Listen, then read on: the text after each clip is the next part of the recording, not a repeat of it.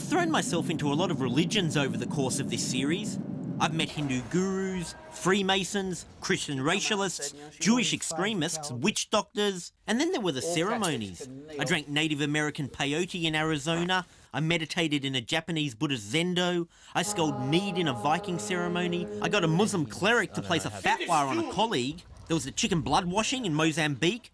Wearing sacred Mormon undergarments in Salt Lake City. And of course, the thing that shook me the most the Papa Gede voodoo ceremony in Haiti, where a goat was sacrificed to venerate the head spirit of all the dead, Papa Gede. What I'm getting at is, if anyone's left themselves open to nasty stuff from the spirit realm entering their lives, it's probably me.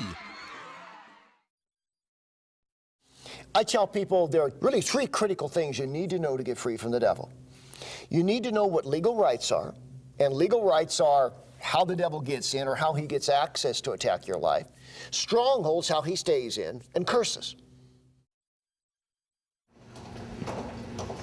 Oh, g'day, Bob. I'm John. How are you? Hi, John. Nice to meet you. Nice to meet you. Come on in.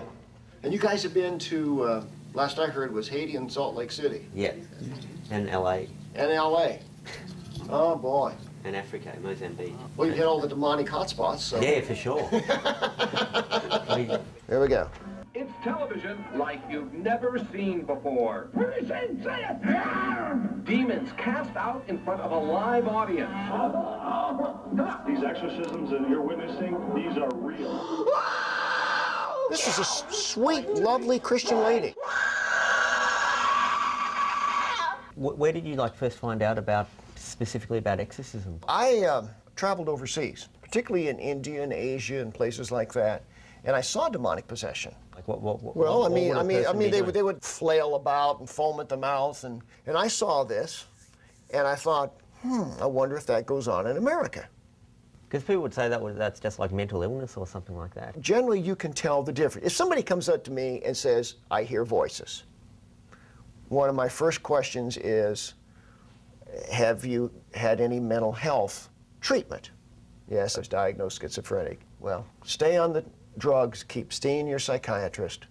You don't need an exorcism, most likely. Uh, we've been working with Bob's group for about a year and a half. When I started seeing people manifest and, and screaming and demons coming out, I, I wondered maybe if I had some too. So. And and did you?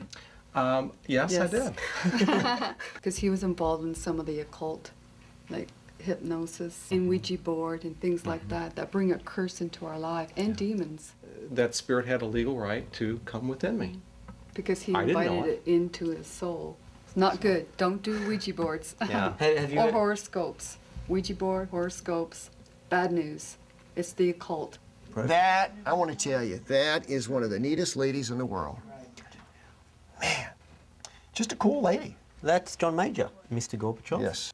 The Bushers. That's Bush. I have never met anyone who impresses me more as a human being than Colin Powell. This is hell.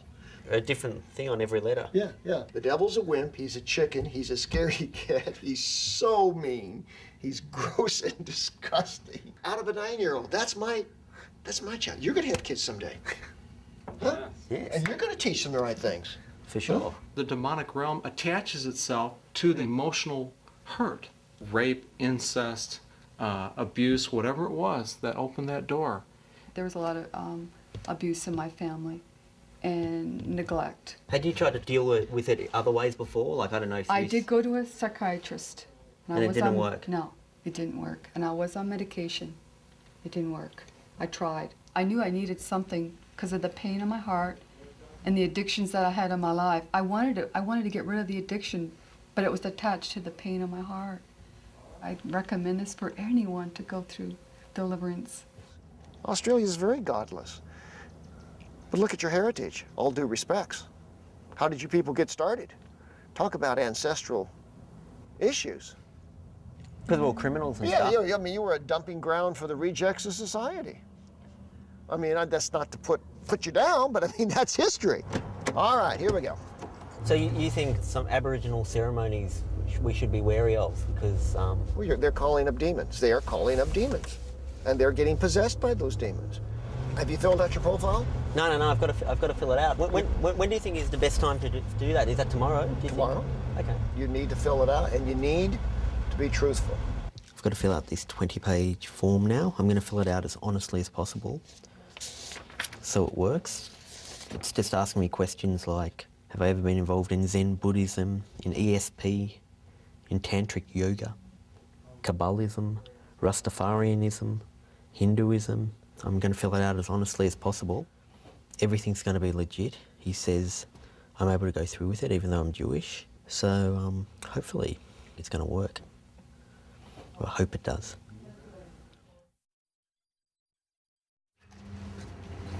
All right, let's take a look at what you've got in this uh, profile. Okay, now, um, well, we got a bunch of stuff here, don't we? Now, some of this stuff has uh, obviously been for research purposes. Yes. What about Buddha, though? Well, kind of yes and no. I, I stayed at a Buddhist retreat in Japan, so I did participate. Did you do some meditation? Yeah, I did meditation. Seated meditation? Yeah. Oh my goodness. And the voodoo uh, was was research too. But uh, again, it was participating. So, What'd you do? you know, I was around when there was a goat sacrifice. Well, I held the rope of the goat, and the goat was got its throat slit. You're, you're walking flypaper for demons. I was involved in a Day of the Dead celebration for the Viking religion, the North, the o- o- Odinism. Is that a problem? Oh, it's a big problem. Odin's a very powerful demon. And when I was in India, I worshipped a goddess. Kali? Uh, definitely Kali, but um, it Ma goddess, goddess Ma. Is that that's an issue? It's a big issue. It's all false gods. John, I'm not even a third of the way through this thing. You could have every demon on this planet inside you. Now, mind you, if you had gone out to do this with seriously malevolent intent, you'd be at greater risk. If you said, I'm going to the, you know, the, the voodoo witch doctor because I want somebody killed because of whatever, yeah, of course, you kind of did do that. Um, Islam. I was involved in Islamic ceremonies. Big problem. What's the problem with What is the problem? Who do you, who do you think is compelling suicide bombers? Demons. Nice kids. With a hope in the future. Strap a bomb and go blow themselves up. Does that make sense? No. Demons. I was involved with the Mormons, and I got my hand on some of the undergarments, and I wore them. That was not a smart thing to do, because those garments come with a curse. Oh man, I, I'm I'm I'm I'm blown away about how much of this comes back to your Jewishness. You are a picture of Israel. This is what Israel constantly did. They always drawn away by other nations to worship other gods. God called out a people to teach them about the one true God. And Satan kept trying to pull them off every time another direction. That's what he's done with your whole life. German thing is very definite. Why, why, how would that have an impact on me? Well, because your ancestors would have had some bitterness against God. And sometimes what we have to do is speak for our ancestors. Hi, John. I, John, On behalf of my ancestors, on behalf of my ancestors, forgive Hitler. forgive Hitler. This is powerful stuff. Oh, man.